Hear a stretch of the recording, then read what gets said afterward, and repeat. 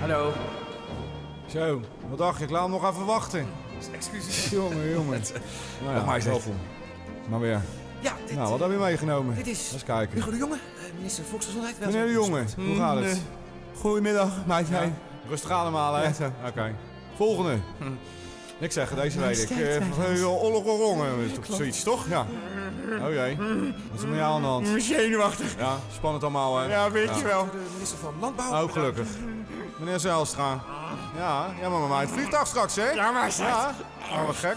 Oh, dit moet je even uitleggen.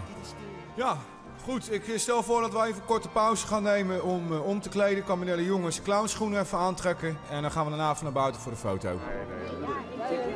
Het is wel leuk dat er zoveel mensen zijn. Nou, hij is leuk. Ik ben wel blij dat ze allemaal zitten. Ja, Nou zeg, ik ook. Ja, toch? Dat vind ik ook goed, ja. Ja.